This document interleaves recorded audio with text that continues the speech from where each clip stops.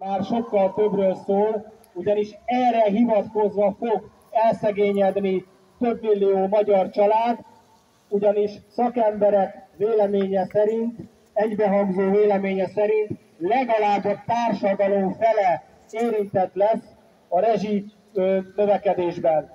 És ugye eddig is már meg kellett egy magyar dolgozónak gondolnia, figyelembe véve a valós fizetéseket, nem a KSH félét, hogy mire költi a pénzét, most akkor ezután hogyan tovább?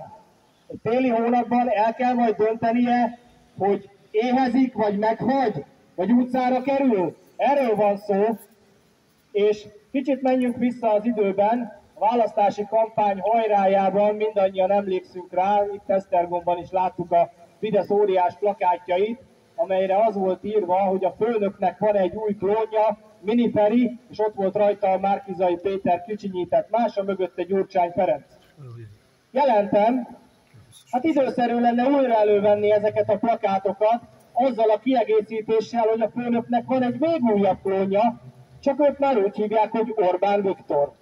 Ugyanis arra is emlékszünk, hogy végig támadták Márkizai Péter, egyébként nyilván joggal, mert ténylegesen hülyeségeket állított a rezsivel kapcsolatban, csak hogy most az a helyzet állt elő, hogy gyakorlatilag Márki Zaj Péter kottájából játszik a Fidesz, az ő elképzeléseit valósítja meg, hát öleljék meg egymást, mert nincsen sok különbség közöttük. De menjünk tovább. Csak néhány héttel ezelőttre, vagy a múlt hétre, nem tudom, hogy ki hallgatta a Kossuth Rádióban Orbán Viktor interjúját, ahol azt gondolom, hogy messze menőkig óriási tiszteletlenséggel beszélt a magyarokhoz, amikor azt mondta, hogy aki nem bírja kifizetni a megemelkedett rezsiköltségeket, az keressen több pénzt. És nem szégyelli magát. Most itt is lehet találgatni, hogy a totális arcátlanság, hogy a tények teljes nem ismerete vezette erre, de felteszem a kérdést, hogy ugyan kinek a feladata lett volna az elmúlt 12 évben, hogy a magyar munkavállalók helyzetén javítson, hanem az övé. És ehhez képest mit látunk? Európában továbbra is sereghajtók közé tartozunk fizetések tekintetében. Talán még Bulgáriát és Romániát előzzük. A munkakörülmények csapnivalóak. Eltusolt munkahelyi balesetek, fizetetlen túlórák, és mindezt keretbe foglalva a dolgozó érdekképviseletet, a szakszervezetiséget teljesen ellehetetlenítették, gyakorlatilag szétverték. És mindezen tények tükrében annyit tud mondani, hogy keressetek több pénzt.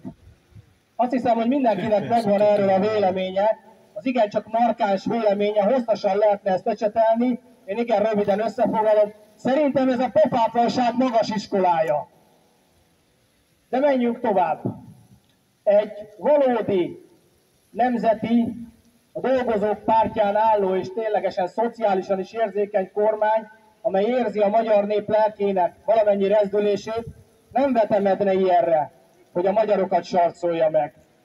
De ki kell jelenteni, hogy a Fidesz uram, bátyám rendszere teljesen hiány van ezeknek az értékeknek, teljesen hiány van a szociális érzékenységnek, ezért azt a következtetést kell levonnunk, hogy maximum külsőségeiben nemzeti, de belső tartalmában semmiféleképpen sem.